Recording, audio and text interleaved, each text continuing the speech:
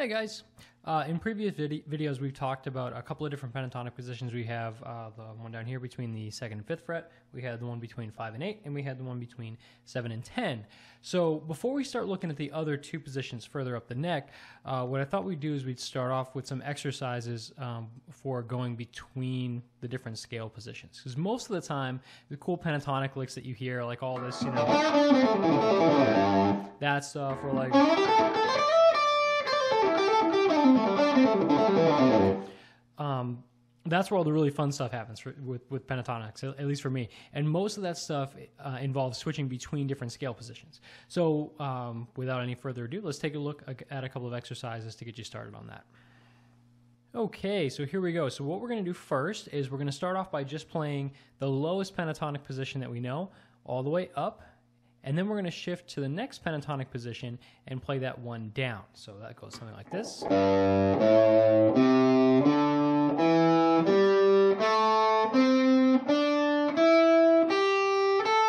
So that's the lowest shape. Now I'm going to shift into the next one and come down. Now I'm going to shift into the next one higher and play up. I'll do that whole exercise one more time for you. So.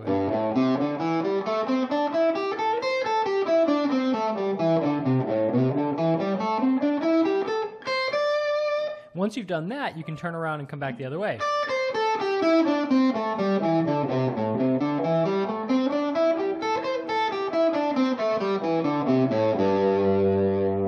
There we go. Simple enough. Um, so that's the first exercise. The second one that we're going to do is, a little bit more involved. It, involves moving between the positions and only playing four notes at a time. So we're going to start off by playing uh, four notes. That's going to be two notes on the sixth string and two notes on the fifth string in each of the three scale shapes. So we have this. So that's the first four notes of the minor pentatonic between two and five. Then we have the first four notes of the pentatonic between two and eight, five and eight, excuse me. And then the first four notes in between 7 and 10 we have so all together we get right? And we're going to repeat that same exercise on each pair of adjacent strings. So that was on strings 6 and 5 here. Now we're going to do the same thing on strings 5 and 4 then 4 and 3 then 3 and 2 and then 2 and 1 so here's 5 and 4 now here is four and three. Three and two. Three and two is kind of interesting um, because of the tuning difference between uh, crossing between these two strings here. You get some some interesting fingerings, but it's worth practicing.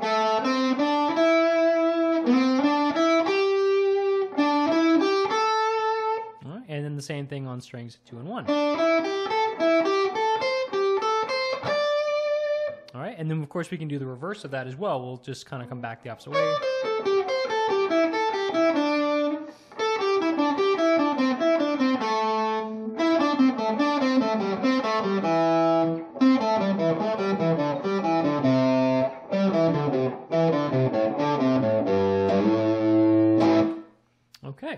Go.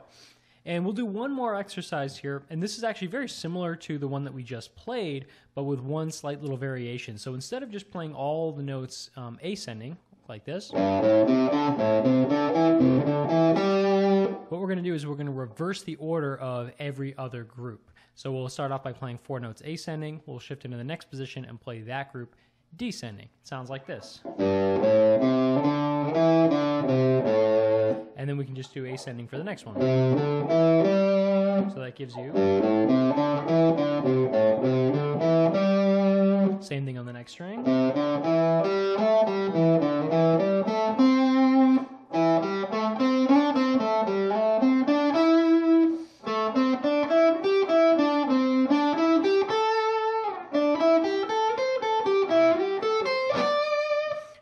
As you add more um, scale, uh, scale, positions to this exercise, you could continue. So, for example, if, if you know the next position up like this,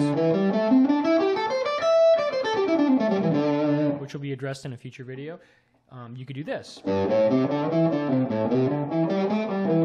And etc. You keep going.